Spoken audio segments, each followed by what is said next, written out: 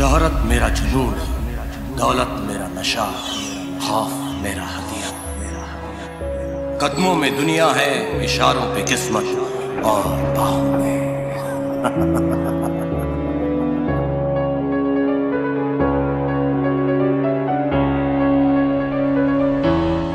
फरहान करेंगे जॉनर को चेंज।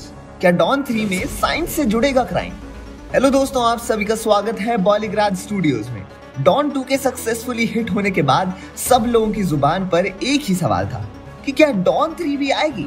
हालाँकि डायरेक्टर फरहान अख्तर और शाहरुख खान ने डॉन टू के क्लाइमैक्स में इस सवाल के लिए कोई कसर नहीं छोड़ी थी। अब भाई जब शाहरुख यानी डॉन क्लाइमैक्स सीन में बाइक की नंबर प्लेट पर डॉन थ्री लिखकर दौड़ रहे हो तो इतना तो क्लियर है कि इस सीरीज़ को रोकने का डायरेक्टर का कोई इरादा नहीं है। लेकिन ये सवाल आता है कि डॉन थ्री में ऐसा क्या अलग होगा? फरहान अख्तर से जब ये सवाल पूछा गया तो उन्होंने कहा था कि इस बार वो दूसरे जॉनर को एक्सप्लोर करना चाहते हैं। मतलब हो सकता है कि डॉन थ्री का जॉनर भी चेंज हो जाए। और जिस तरह से अभी तक डॉन सीरीज़ एक एक्शन थ्रिलर फ़िल्म रही तो इसमें हमें साइंस फिक्शन को भी जोड़ा जा सकता है। और शाहरुख की साइंस फिक्शन फ़िल्मों की बात करें तो रावण नाम ही सामने आता है, जो कि एक हिट फ़िल्म रही थी। लेकिन डॉन को एक साईफाई फ़िल्म में बदलना एक अलग ही बात होगी। जैसा कि हम जानते हैं कि साइंस फिक्शन में robots time travelling science exploration space exploration parallel universe जैसी चीज़ें होती हैं। और अगर हम इनमें से किसी एक को डॉन थ्री की कहानी में देखना पसंद करेंगे तो पैरेलल यूनिवर्स ही वो बात हो सकती है। हॉलीवुड में पैरेलल यूनिवर्स पर बनने वाली फ़िल्में काफ़ी पॉपुलर हैं और इंडिया में भी इसकी बहुत बड़ी फ़ैन फॉलोइंग है।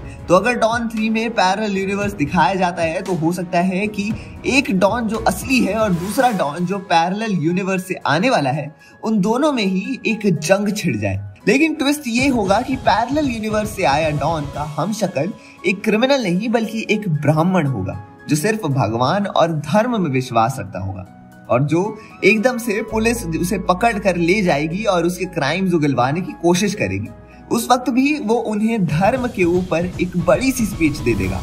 पुलिस इसे डॉन की कोई नई चाल समझकर उसकी बातों का विश्वास नहीं करेगी, लेकिन जब उन्हें कोई पक्का सबूत नहीं मिलेगा तो उन्हें उसे छोड़ना पड़ेगा।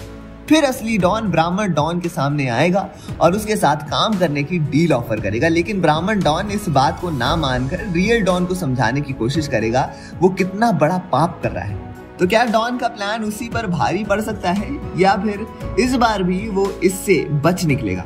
ये तो वक्त ही बताएगा। तब तक के लिए आप देखते रहिए हमारा चैनल पॉलीग्राज स्टूडियो